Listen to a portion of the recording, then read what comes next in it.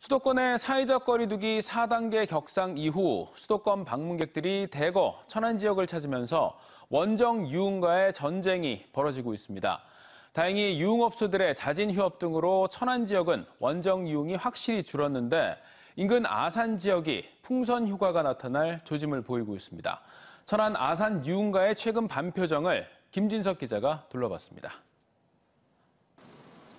천안시에서 가장 번화한 곳으로 꼽히는 두정동 일대 유흥가입니다. 매일 밤 휘황찬란하던 유흥주점과 노래방의 간판이 모두 꺼진 채 이곳의 밤의 풍경을 바꾸어 놓았습니다.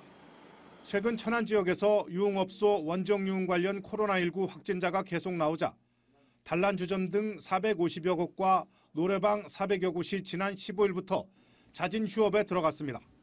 서너 차례 유흥업소발 집단 확진으로 얼어붙었던 두정동 유흥가는 업소들의 자진 휴업으로 인적이 끊긴 유흥가가 돼가고 있습니다.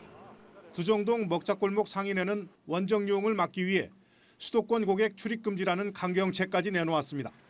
현수막뿐 아니라 주변 250여 개 점포는 신분증으로 고객 거주지를 확인해 수도권 고객의 출입을 막는 등 적극 대처하고 있습니다. 정확하게 우리가 몇 팀이라고 기록을 안 했는데 많이 있었던 것 같아요. 지금은 거의 뭐 한 10분의 1로 줄었다고 해도 과언이 아닐 거예요.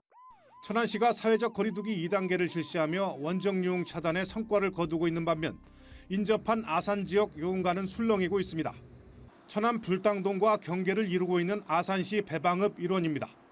천안과 달리 밤이 되면서 노래방과 유흥주점들이 속속 문을 열면서 불야성을 이루고 있습니다. 천안의 원정 유흥 차단으로 수도권에서 아산을 찾는 풍선 효과가 현실화되고 있습니다. 수도권의 유흥 고객들이 천안의 선제적인 조치로 인해 교통이 편리한 아, 배방이나 둔포 지역으로 어, 집중해서 내려오고 있는 상황입니다. 수도권 확진자가 폭발적으로 늘고 있는 가운데 수도권 유흥 고객들의 메뚜기 원정에 인접 지역인 충남 지자체들이 골머리를 앓고 있습니다. TJB 김진석입니다.